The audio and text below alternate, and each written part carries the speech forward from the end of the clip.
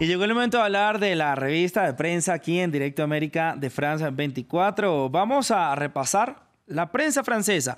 ¿Por qué? Porque hoy es el cara a cara, la última oportunidad que tienen los candidatos. Hablamos del candidato presidente Emmanuel Macron y también la ultraderechista Marine Le Pen para dirigirse a sus electores que van a dirigir un país quien gane por los próximos cinco años. Empezamos por Le Monde. Dice, debate Macron-Le Pen entre los dos candidatos, un quinquenio de enfrentamientos. Y que nos diga entonces Rosa Pérez Masdeu, que nos explique, mejor dicho, este artículo de Le Monde.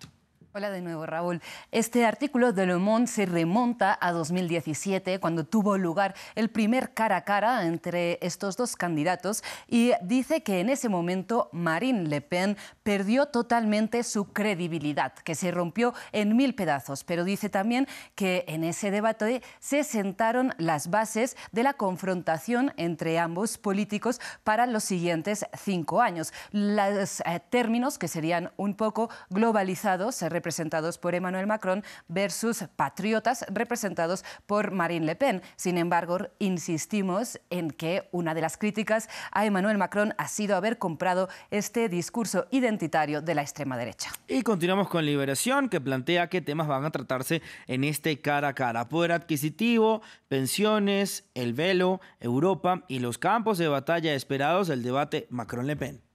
Exacto, porque digamos que a cada uno de los candidatos le interesaba empezar por un tema distinto, mientras que Le Pen quería que empezara este cara a cara por la cuestión del poder adquisitivo, porque recordemos en esta campaña de desdiabolización de su imagen, como ella lo ha llamado, pues se ha centrado más en esta cuestión económica que no tanto en las cuestiones identitarias que la caracterizan, mientras que Emmanuel Macron, aprovechando su alto perfil en términos eh, diplomáticos que ha jugado en el marco de la guerra en Ucrania, quería empezar por cuestiones internacionales. Finalmente se ha jugado a suertes este orden y será el siguiente. Poder adquisitivo, internacional, modelo social, ecología, economía, educación, seguridad y política interior. Y destaca Liberación que mientras para Le Pen el reto es borrar el mal recuerdo que dejó su participación en el debate de 2017 y capitalizar el descontento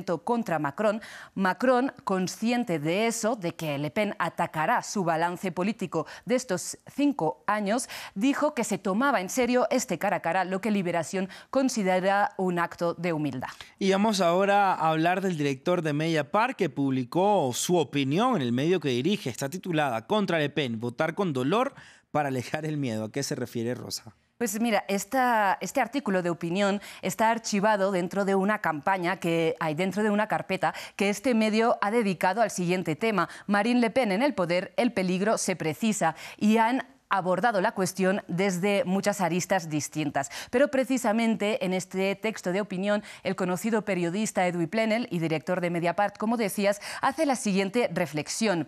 La extrema derecha nunca había estado tan cerca del poder y dado que la extrema derecha es la peor enemiga de la igualdad, de los derechos y de las libertades, votar contra su candidata, es decir, votar contra Marine Le Pen, es la sola opción antifascista en el marco electoral pero matiza, este voto contra Le Pen será con dolor, porque implica elegir la papeleta con el nombre del primer responsable de esta catástrofe, Emmanuel Macron.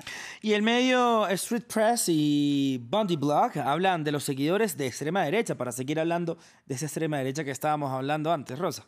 Exactamente, Street Press es un medio que desde hace tiempo sigue muy de cerca los movimientos de extrema derecha en Francia y un poco la amenaza que suponen a nivel tanto político como social. Y en este caso, eh, Maxime Massé y Pierre Plotou eh, firman un artículo que se llama Antisemitas, fascistas, identitarios, los radicales con Le Pen y defienden que si bien la candidata ha suavizado su postura en temas eh, como la economía o en temas eh, como la relación entre Francia y la Unión Europea, su programa continúa siendo de extrema derecha. De hecho, ambos periodistas afirman lo siguiente, bajo la cobertura del azul marino, el marrón nunca ha abandonado totalmente el partido y el marrón en referencia a las camisas del uniforme del partido nazi alemán.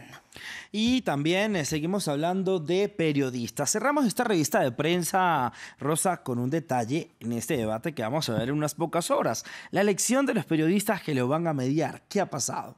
Lo que ha pasado es que cuando se dio por hecho ¿no? los eh, dos candidatos que se iban a enfrentar en este cara a cara de cara a la segunda vuelta, se perfilaba como moderadora del debate la periodista de la televisión pública francesa France Anne-Sophie Lapix. Sin embargo, ambos candidatos rechazaron que esta periodista moderada, moderara su eh, enfrentamiento porque la consideraban demasiado crítica. Bien, eh, finalmente será Léa Salamé por la parte de France 2, de la televisión pública, y por otro lado Gilles Boulot por la parte de TF1, la principal televisión eh, francesa, pero en manos privadas, los que van a moderar este debate que, recordemos, empezará a las 2 de la tarde nuestras, hora de Bogotá, y lo podrán seguir aquí en directo y traducido al español, ¿no? Fundamental para todos ustedes. Si no hay crítica, no hay prensa, Rosa.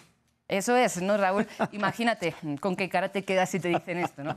Pues Dios es, mío. es incluso un halago, ¿no? Claro, 100%. Una, una, una, una periodista que está haciendo un buen trabajo, Rosa. Muchísimas gracias, como siempre. Nos vemos mañana con más de revista de prensa. Pasamos a los deportes.